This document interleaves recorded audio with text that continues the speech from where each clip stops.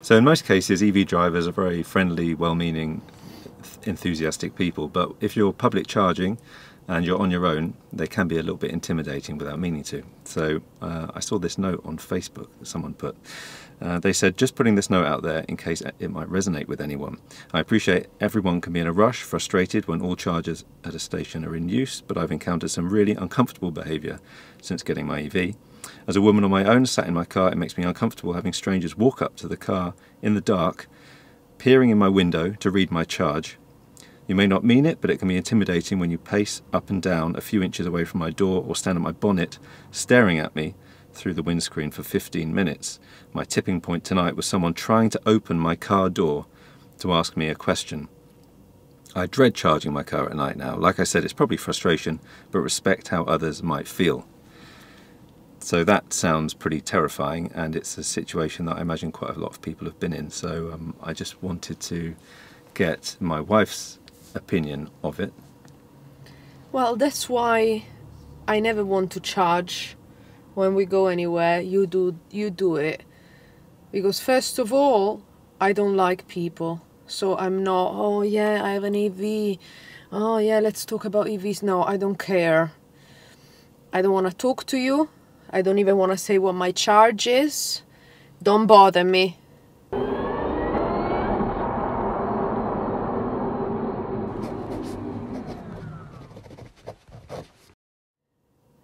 So I'm not good in that situation. So until there will be enough charges and no one bothers me while I'm charging, I'm not charging. I'm not traveling on my own with an electric car. Well, how many times have you charged public charging? I just when I went to Norfolk uh, by myself, but then I had Cheshi as well, you know, with me, Yeah. and that's better when I'm, you know, because she does the talking if there needs be. Yeah. But I'm not a talkative person. I don't want to tell you. I don't want to be friendly. I want to be in my car, charge, and get away. And I don't want you to come and tell me. So I understand what this woman is saying. Where did you find this uh, thing anyway? It was on a Facebook on a Facebook group for EV owners. But she wanted to be anonymous. I did ask her if I could tweet it, and she, but she wanted to be anonymous because she didn't want to make too much of a big deal out of it. But woman or man, I understand that at night uh, with the woman there's uh, more danger. Eh, But it's also a situation even for normal uh, men that don't want to talk, or even during the day. All this friendliness, uh, the, oh, how much charge do you have? But why do I have to go through that? I don't. I wouldn't buy an EV if that was the only way for me to travel to talk about to talk to all these people i wouldn't Yeah, i would travel with a petrol car so no one bothers me i put the petrol and i go on my way and i don't have to talk to anyone the problem is there are not enough charges. So there has to be a limitation maybe. The um, like when here in the UK there was shortage of petrol. What did they do at the petrol station? Some people put a limit of 10 pounds. You can only put the petrol 10 pounds. So that's so here you put that you have a, since there are not enough charges until there are enough charges there is lack of of chargers so here. so you need to put a limit. Say, when there is only one charger, put a limit of 60%. When there is two charges put a limit of 70. When there is three, put a limit of 80%. Don't end only for electric cars, not for hybrid as well. They should say hybrid not allowed. Okay, so it's a lot of people don't know this, but it, it's very very slow to charge most cars from 80% up to 100, like ridiculously slow. In the old Niro, it was 44 minutes up to 80%, but you would be another 40 minutes just getting from 80 to 100%, something like that. So it's a ridiculous amount of time. So this is part of the problem. Um, if you are if you're driving and you're desperate for the charge, right, and then someone is on a charger and you can see that they're past that 80% point and they you know they're going to be sat there for ages you do get a bit frustrated, and that's what this person's alluding to. Of course, you But- get frustrated. No one wants to wait for ages when you know when there's a long queue. But also, the person that is charging should be aware that if they're using the only charger for miles, the only one, there is gonna be a queue. You have to go through that, the people peering, because people don't like to wait. In this time and age, people want everything immediately, they don't want to wait. Imagine if they tell you at the petrol station that there's only 50 pounds left of petrol and then you get the person in front of you that charges with the 50 pound you're gonna get pissed off. You're gonna so the person in front of you should have the common sense to char to put 10 15 because they see that other people need it. But population today are we selfish or are we generous with other people? We don't give a shit. We just think about ourselves most people. So what can you expect? You cannot just trust the person that is charging to have the common sense to say, okay, you know, I have 70%, I'm gonna go now. Most of, most people would have that common sense, especially here in England. Most EV know, drivers, most yes. EV drivers here know that. um, They would have that even even if you don't know that it's slow from 80 to 100, we know that there are limited charges a lot of the time. But And no, man, not all people know. no, because because Isabel, for instance, our friend Isabel, right? She was she was. I always use her as a case study. She was in Cambridge, and Cambridge there are very few chargers at the moment, and she, so she was at one Shell garage that had charger, one charger, and there was a Tesla driver there, and it was very late. She had her children in the back. One of them was crying, and this Tesla driver said, "No, I'm charging to 100 percent." And that's Really? a, that's especially yeah, and that's especially bad because Teslas can charge at their superchargers, right? But That's crazy. but I think it's because a lot of people now use Onto, companies like Onto, and you get free charging with Shell, right, and a couple of other people. So I think he was But using that free charging. If and- you see that there's a woman with children waiting and it's late at night, you must be a C word if you don't get the F away. I know, I know, because because uh, what I think maybe he didn't have home charging, and that's that was his charge stop. But uh, again, because it's so slow from eighty to one hundred percent, it's just it is Even shitty. for Tesla. Yeah, for any EV, our our Ioniq is very quick, but it still slows down at the at the end. So, it, so it's a question of etiquette. If you are the driver, just be aware that from eighty percent to hundred, it's slower. And if you're occupying the one charger that's there, then perhaps drive on and charge somewhere else if you've got a long journey, because that's quicker than waiting for that eighty to hundred percent. If you're in the, if you're sat in the car, drive somewhere else and charge if you have to get somewhere else because it's quicker than waiting. That's the thing. Of course, there aren't many charge stops around, Yeah, and you could argue that yeah. well, you've got a charge. Once you've got a charge, you think I'm holding on to this bugger, but still, um, uh, that's one. That's that's one thing. But also, if you are someone that's waiting for a charger, just be mindful that I, I do think that if you want to charge, if you have to charge to 100 percent, then you kind of feel free, because if we were in this leaf, if we had this leaf with what its did tiny you say? I don't understand. I don't follow. What do you mean feel free? well, I no, I think I think if someone has to charge to 100%, then don't bother the person. If they really No. have to, if they really have to, If there is a queue, no, but if you you've got, can. What do you mean you have to? Yeah, you because- don't have to. but if you've got a, it's kind of your right though, isn't it? It's it's a, you could argue it's a little bit bad, Yes, but okay, it's your right. it's your right, pero you're gonna piss the person that is behind you that has 10%. Especially if they have to be somewhere, especially if it's late at night. my point my point is that um, if you're in a if you're in a car like a Leaf, this car what is like 60 miles on the motorway or something like that, you might need to charge to 100%. No, to get to the next stop. Well, just to get to your destination.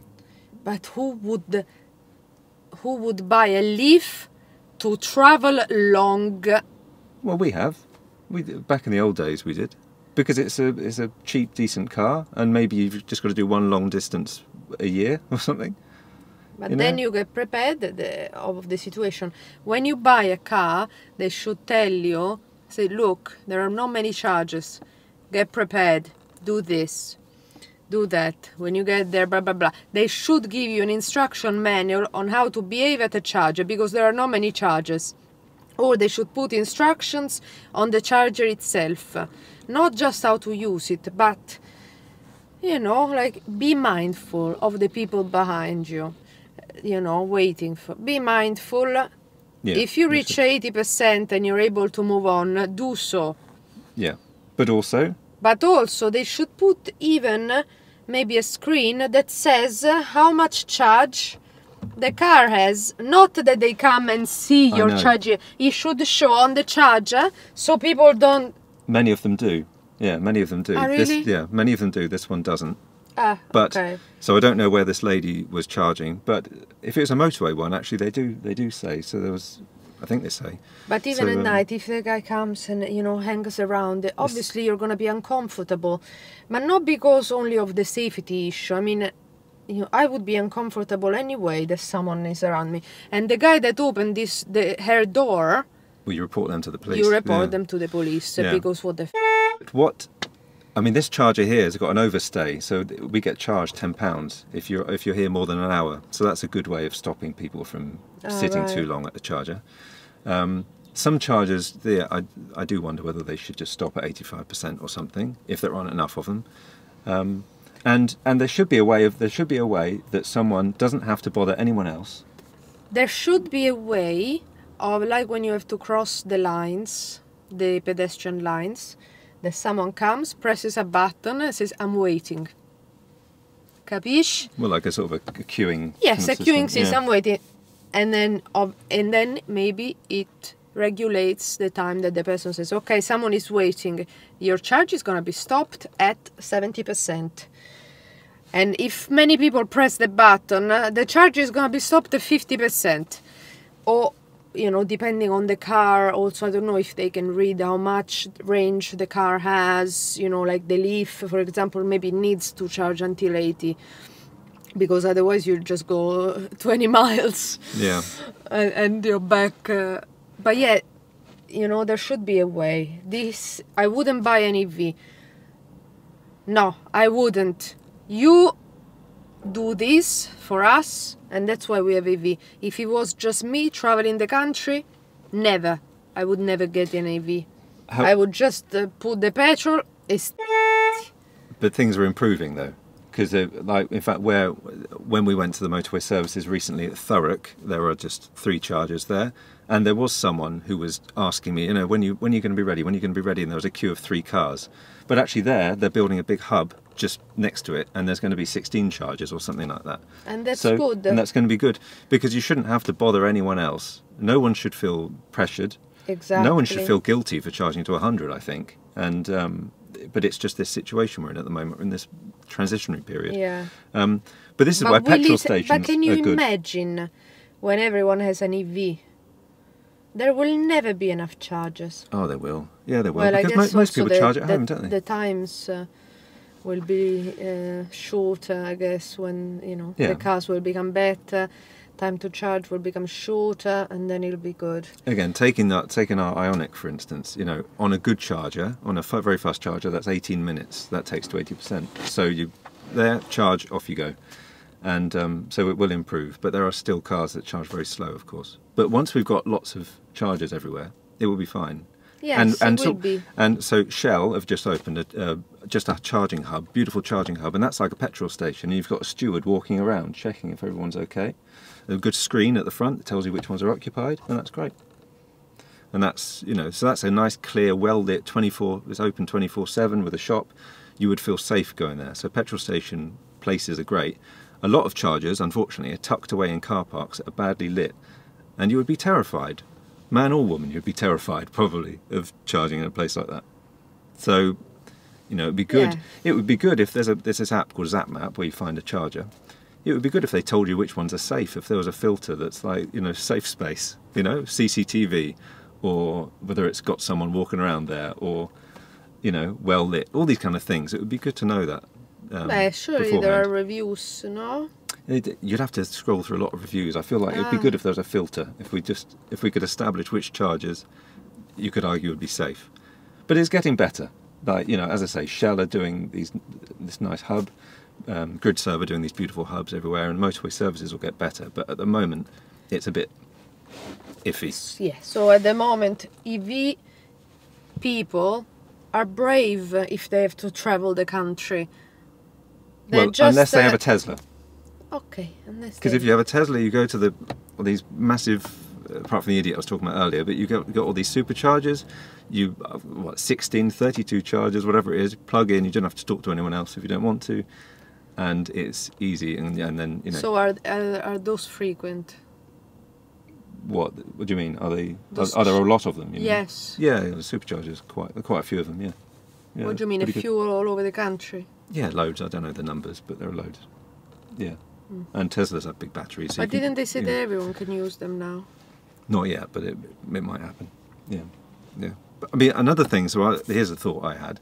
What if on the charger you said I want to charge to, I want to charge to 85%, and then it would tell you how long that's going to take. So you as a driver would know. Okay, well, that's going to take a while. Maybe I'll charge a bit less, or whatever. Um, but then at least everyone would be able to look at it and they would see your intention. It would say, "Yep, I'm going to charge up to 85%. I'll be here a while. Don't don't but- bother me." No, but you know the person then would see that and would knock on the window and say, "Excuse me, are you sure you need to charge until eighty-five percent? Because I have a you know a car full of children crying and I need to charge. Can you charge until?" It's just gonna be like that, and you have Well, to then- accept it. then And if you an buy an etiquette. EV, you an gotta you gotta accept it. That's an etiquette thing, isn't it? You just shouldn't do that. well, you sh- well you. Uh, I would. you I would. wouldn't. I wouldn't do that. I would tell you what I do. Uh, what I do when I go to a charger, if there's someone else that I can see is waiting, I'll say, "All right, mate. Uh, you know, I'm going to be here about ten minutes," and they say, "Okay, fine." You know, and then window goes back up. Exactly. so Um, you have to be prepared to socialize Okay. Yeah. and uh, you know and talk to people and that's why i would never buy one yeah, but you you don't you don't public Unless- charge anyway. no you charge at home all the time. unless i would not buy one if i had to travel frequently Well, or- or you get a, or you get a Tesla. Ora get a tesla Yeah. allora get a tesla e basta I don't want a Tesla. uh, I don't want a Tesla. You don't want a Tesla. i don't want a tesla because they're all ugly so The drivers or the cars? I, I, the cars are ridiculous apart from model x but model x uh, is too big no, Model 3, I think Model 3 is nice. No, It's Model a- 3, it's Model Y, a all the other looking- one that just a- long and boring. It's a decent Just car. Model X is good, but then it's too expensive and too big. Otherwise, I would buy it if they make a small version of that. They might come out with a little hatchback kind of thing, a smaller one that you might like actually. I like But, um. Yeah.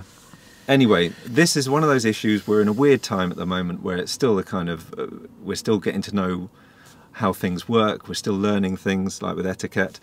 A, a lot of us oldie, older EV drivers, as in people that have been driving a while, they know all this stuff.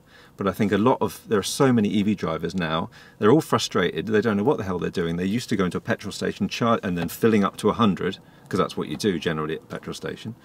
No. Well, I, did, I always did. I always did hundred. Yeah. Well, you're the 100%.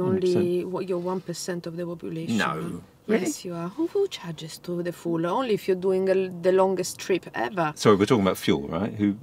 Um, Sì, sorry, sì, yeah, I mean, yeah. scusa, who puts the petrol to the maximum? If you're doing a long, long trip, then yes, you would, and you don't want to stop. But otherwise, I always did because you can't fill up petrol at home, so you might as well get it all.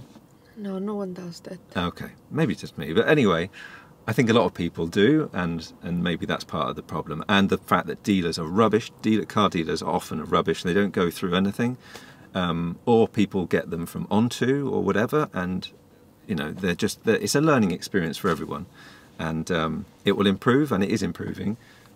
but at the moment, it's a bit of a nightmare. And yes, even I, even I would would be a little bit concerned. I think uh, charging at night in some places. It's- not that the EV people are, you know, scary or whatever. Well, n- they they you do hear some reports, only a, only a few, but you do get some reports of people that are a bit, you know, angry. I mean, when we were- when we charged when we charged in Thurrock, right? There was someone who was who was quite agitated and saying, "Well, you know, how long are you going to be? You know, you know, well, I, I can charge my Leaf here, can't I?" And I said, "You can't. It doesn't do two cars at once." And he said, "Well, I'm, what's, what's the, what's the you know, point of and that? he said, "Well, I'm going to try it." I said, "It's not going to work," you know. And it was all getting like this, you know. But a lot of people are going to watch this and they're going to say, "Oh, I don't want an EV." But most Fair enough. no, but but most of the time, vast majority of the time, this is not an issue. Mr. EV will make uh, another video and tell you when it's safe to buy an EV. Ah, but this is the thing that it's never. You can never just say, "Oh, it's safe." Ah, you know. No, ah, well, if there are uh, enough, like that hub that you say that they're opening, Yeah. and if they open a hundred hubs like that, then it will be safe. So another car parked the next to ours, and uh, we'll see now in uh, in practice what happens when uh, another EV driver wants to charge. Nyanya's gone out, Andrew's gone out, obviously not me because I don't like to talk to people. I don't even know if this is an EV. Let's see. Looks nice, but I don't know if it's an EV. an EV.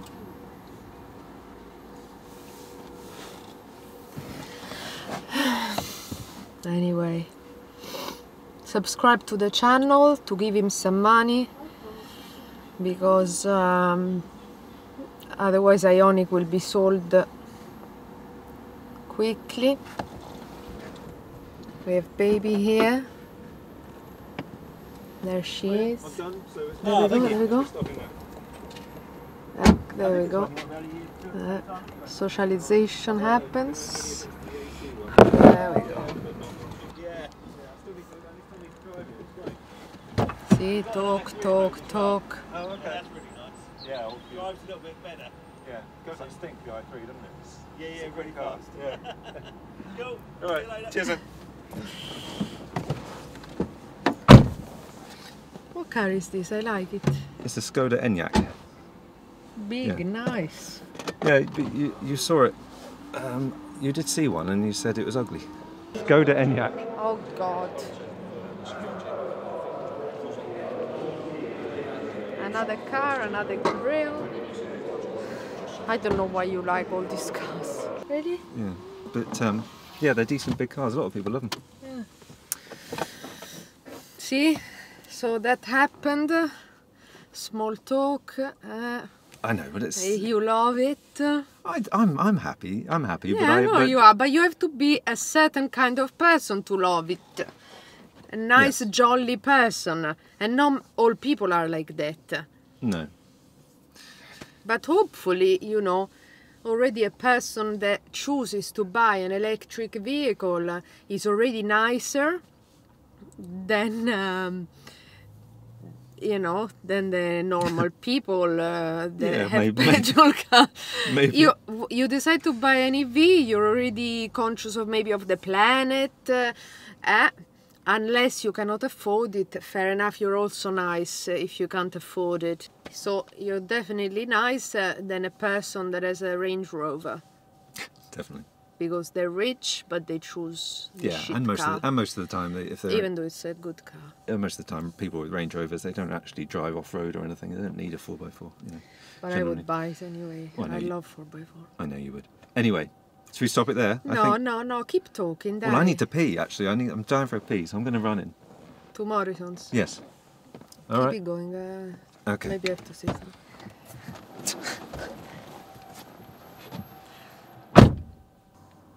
If I had to travel long distances at the moment as it is, I wouldn't get an EV. I would get a hybrid that gives me the flexibility to switch to the other, to the petrol, eh, if I need to because I can't be bothered to go through all the stress.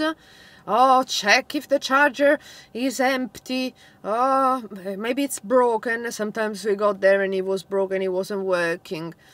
You have to plan your uh, trip ahead of time you, with the stops. You have to plan it more around the charging stops than the actual trip. Allora, it's just a lot of hassle. So, what I suggest is yes, if you are in the city, you don't travel much, eh, buy an EV. But if, or if you have to travel long distance, just rent a petrol car.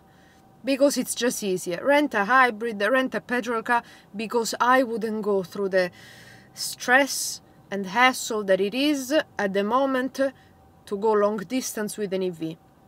Like when we went to Italy, to from uh, from here, we went to Italy. Allora, maybe I would have liked to go another itinerary, but no. Our itinerary was dictated by the stops of the charging stations.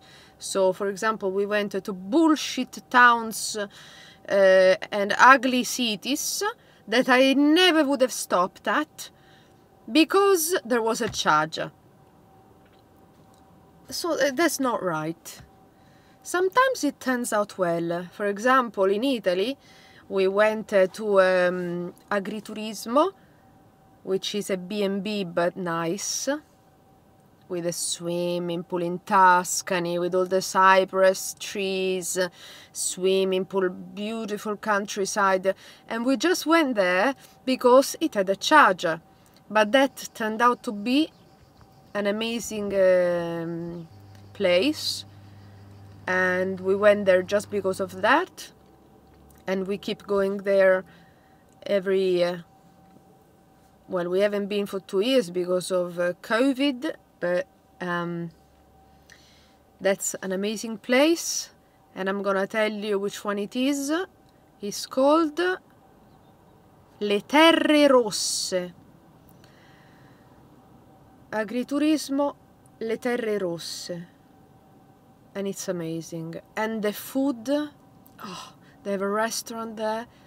That's, I think, one of the best restaurants I've ever been to.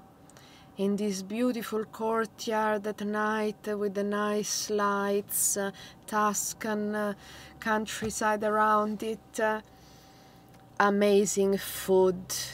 You won't believe it, how good it was never, you know, you don't meet, uh, you don't find so many restaurants as good as that. So anyway, apart from that, apart from that stop, all the others were a bit crap. But the cities are always a bit without soul. Apart, you know, I'm not saying that for all the cities, uh, in, you know, just some of them, uh, they're not worth stopping at. I'm just saying. You will see what I said. And uh, you're free to include it in your video or not. Okay. The moral of the story is don't travel long distance with an EV unless it's a Tesla. No, that's a, not a good moral. I did it in the Niro and it was fine. Don't travel then, travel on your own if you just have to do a video about it, uh, like uh, Mr. EV. But if you're What are you traveling with your family, eh, allora don't do it. What are you talking about? It's not that bad. eh? This is it's getting, it's the moral of my story. well, you wouldn't personally, but you know, it's not that bad, really. If you, ju- you know, if you just plan it a bit, Exactly. it takes a bit of planning at the moment. Yes, exactly. But That's what I was saying. But but we're at the point we're at the point where the, all the all the motorway services are the getting planning, upgraded. Uh, the planning you have to do, it takes you probably But two you- days. We're, but we're not we're not far off all of the motorway services getting upgraded.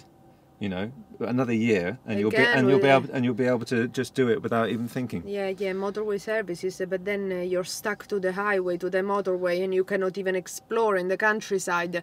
There was that part of France on the left uh, between France and Germany that we couldn't even step into because there was nothing there. Oh, sorry, you're talking about Europe. Yes. Yeah, but again, in Europe, it's better now than it was. But yeah, I'm just it- saying that at the moment uh, you're stuck with a certain uh, soulless itinerary that takes you to the motorway and to the big cities. I th- it, it's certainly EVs are really good for people that don't mind a bit of planning and uh, enjoy all of the all the making itineraries. You enjoy making itineraries, actually. It's just it's just another. yes, I don't me. enjoy making itinerary in bullshit uh, towns that look ugly. Yeah, but you can. There are uh, there are plenty of places you can stop um, on a scenic route that have like all the little all the little supermarkets. I think have chargers, don't they, in France and things. Anyway, this is so off topic. It's ridiculous. No, it's not off topic. We're talking about etiquette. No, we're talking about everything. Okay, we're talking about etiquette. So, etiquette, right? If you want to know, if you want to know the etiquette, okay, be mindful of what, how someone else is. Uh, how What? Be mindful of how someone, Someone else, else is. is. Yeah, so- What? if they're sad? uh, Well, yeah, you know, if if if someone's going ha ha ha, all right, you know, then fair enough. You know, say what what are you charging to, mate? You know, Ah, if if they're, they're if they're outside the car, if they're mean. outside the car, or if they are or if they're making an effort themselves, you know. But that's just common sense. I know, but a lot of people don't seem to have that. You know, But tapping. you cannot even teach that. Well, you, uh, you, I think you can. I think people need to know. Dealers need to mention it, and uh, that would help. Um, and charge point operators, you know, they need to put in CCTV and good lighting and more stalls. But if you see a woman in a car at night, who, in the right state of mind, would try and open their door? I don't know. That's I mean, that's, yeah. you know, that's not uh, etiquette. no, that's not. Etiquette. That's etiquette, probably way of living. Uh, you haven't been taught anything in Yeah. life. No, no, that's crazy. Huh? Yeah. Eh, so Anyway, um, and and yes, and if you're a driver, just remember from 80% it's very slow. So going to another charger might make more sense. You'd be quicker, a quicker journey generally if you go to another charger um, what do you of mean go to another charger? When you're eighty percent, you go to another charger. yeah, you charge up to 80 Ah. and then go to another charger if you if you have a long journey because 80 to 100 is is longer than it would be to get to another charger and charge up there because it's just much quicker at the lower state of charge upwards. So that's just another thing to remember and just be mindful that we're in this weird period where everyone's learning how to get around on these wonderful EVs and um, the infrastructure is not improving at the, the rate of growth, at the same rate of growth as EVs at the moment. But it will, because there's a lot of investment, so it'll happen. Did you wear a mask when you peed? Of course, yeah. Why? Haven't they stopped uh, already? Oh, they... Oh, let's not get into masks, darling. Yes. No, let's not. No, That's no, no. where I'm going. No, we're not getting into masks now. no, let's go. Let's go because we've so charged. We're tune charged in, up. tune in uh, for the next episode where we talk about COVID and restrictions. Yeah, that's not happening. ah, right. Yeah, no, fine. No, say no, say not, say not now. No, not now.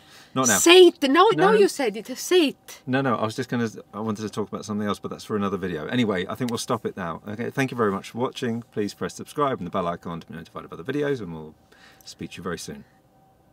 Okay. Yes? Is that all right? Yes. Okay, Bye. bye.